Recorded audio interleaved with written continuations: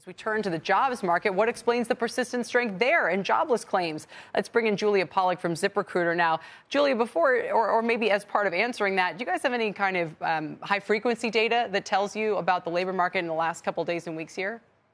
Absolutely. We we watch them minute to minute. And very interestingly, job postings online actually ticked up this week. I was expecting them to fall amid this enormous business uncertainty. And past research shows that uncertainty can have a very chilling effect on hiring. It's not happening yet. Right. Why do you think that is?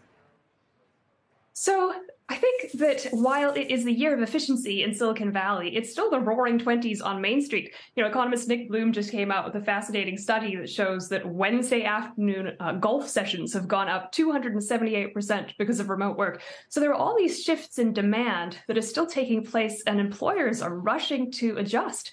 So hiring at restaurants, at airports, uh, for airlines, uh, hotels is still very, very intense uh, and, and urgent. How soon might you expect to see fallout from the SVB collapse? Uh, or could it take quite a while actually for its full effects to show up? So we could see it show up in the labor market in the next few months, and that's because large amounts of, banking deposits are now moving to large banks from those small regional banks that are a key source of funding for small businesses and for startups. And uh, you know, business applications skyrocketed after the pandemic, and they have remained really, really high ever since.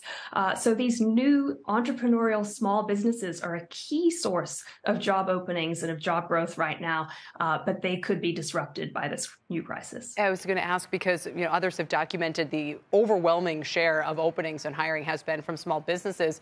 Any idea, kind of, of that breakdown, Julia? And if we've moved from seeing the bigger firms get hit last year to now seeing more impact on the smaller uh, players in this economy, that obviously the recent bank stress would only magnify.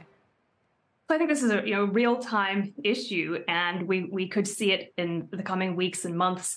Uh, this is this is really the, the big risk to watch, but there are others too. I mean, rising interest rates historically have hurt construct uh, employment in manufacturing, construction, uh, mining, uh, and and other interest rate sensitive industries, and uh, and we are seeing a big pullback among enterprise companies that that doesn't seem to be pausing just yet. All right, Julia, thank you. We appreciate being able to check in with you see you soon, I hope.